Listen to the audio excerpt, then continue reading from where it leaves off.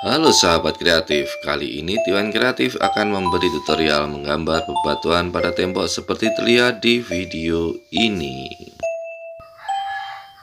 Sebelum mengikuti tutorialnya, alangkah baiknya kalian subscribe channel Tiwan Kreatif agar kalian bisa tahu update video kreatif dari kami.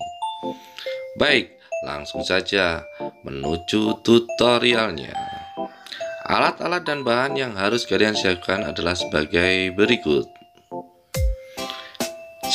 Cat tembok berwarna abu-abu 2. Cat tembok berwarna hitam 3. Cat tembok berwarna putih 4. Kompresor, cat, atau cat semprot atau bisa disebut saja dengan pilok 5. Kardus atau kertas karton 6.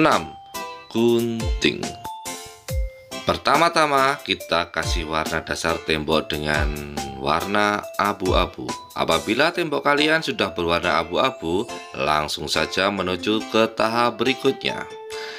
Carilah kardus bekas yang harus kalian siapkan tadi Lalu kalian gunting seperti pada gambar yang tampak pada video ini Lalu tempelkan ke tembok dan semprot tepian kardus dengan cat berwarna hitam. Bisa menggunakan spray kompresor, bisa juga dengan cat semprot atau biasa disebut dengan pilok.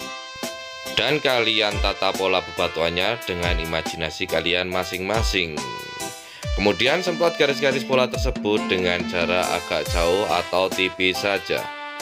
Semprotan ini bertujuan agar tepian batu terlihat timbul Lalu kalian semprot pada tengah pola batu secara abstrak dan tipis saja agar memunculkan efek batu tidak merata. Setelah semua tadi dilakukan, tahap selanjutnya persiapkan cat berwarna putih.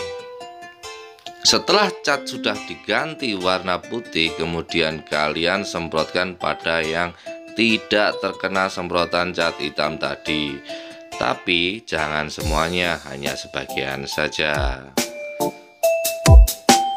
Lalu beri cipratan cat hitam atau beri efek bintik-bintik pada area gambar batu agar terlihat ada lubang kecil-kecil pada batu supaya tambah dan tampak natural lagi.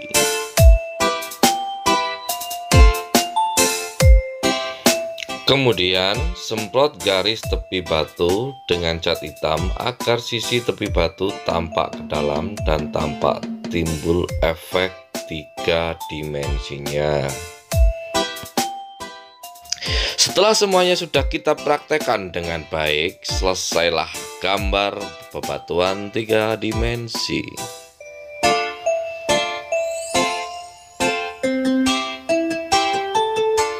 Marilah kita lihat hasilnya. Gambar bebatuan tiga dimensi tampak seperti nyata.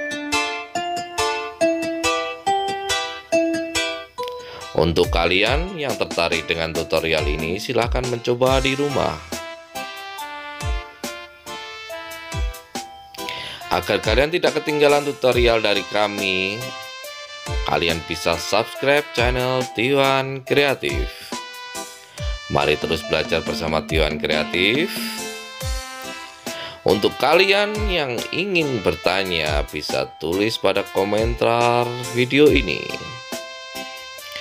Salam kreatif dari kami. Tiwan Kreatif.